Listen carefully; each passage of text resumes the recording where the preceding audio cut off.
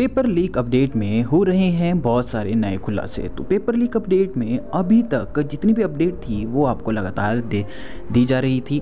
और एचपी के अलर्ट्स में अगर आप नए हैं तो चैनल को ज़रूर से सब्सक्राइब करें ताकि आपको हर नोटिफिकेशन जो है सबसे पहले मिल सके। जितनी भी जॉब से रिलेटेड जानकारी होती है, वो आपको इस चैनल के थ्रू दी जाती है। नई जॉब पुरानी जॉब और जितनी भी अपडेट जो भी प्राइवेट जॉब वो आपको हमारे चैनल के थ्रू मिल जाएगी। तो पेपर लीक अपडेट में क्या हुआ कि जो पेपर खरीदने वाले लोग थे, वही दलाल बन गए।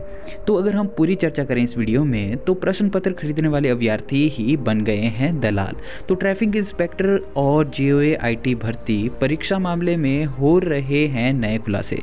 तो दोनों जे आई की बात की जाए या फिर ट्रैफ़िक इंस्पेक्टर की बात की जाए, इनमें से दो ऐसे अभ्यर्थी हैं जिनका ऑलरेडी पेपर निकला हुआ है और वो जो है अपना पेपर तो निकाल चुके हैं बट उसी तरह से और लोगों के लिए भी वो ऐसे ही पेपर प्रोवाइड करवाने के लिए उन्होंने जैसे ही दलाल दलाल से पेपर ख़रीदा और पेपर ख़रीदने के बाद आगे उसको बेचना उसी तरह से स्टार्ट किया। तो आप सभी को पता ही होगा कि 23 दिसंबर 2022 को विजिलेंस ने पोस्ट कोड नौ सौ पैंसठ भर्ती परीक्षा पेपर लीक मामले में सिर्फ़ संजय कुमार को दलाल की श्रेणी में रखा था।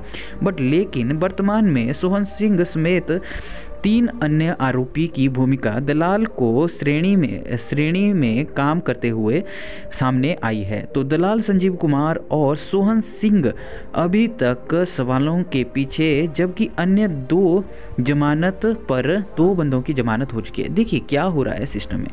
तो अभी आप देख सकते हैं, दलाल सिर्फ़ एक नहीं। अब देखिए जिन्होंने पहले पेपर निकाला हुआ था। जो अभ्यर्थी जिन्होंने जेआईटी से पहले पेपर कोई निकाल के रखा था तो वो उस पेपर, देखिए, पेपर बेचने के माध्यम से, पेपर खरीदने के माध्यम से उन्होंने अपना एग्ज़ाम क्लियर किया और नौकरी जो है सर्विस हम गवर्नमेंट में दे रहे हैं। और उन्हीं ने ही यही सोचा कि जो जैसे जिस तरह से वो लगे हैं, उसी तरह से औरों को भी हम पेपर बेचें तो ये रैकेट बहुत ही बड़ा निकल के आ रहा है।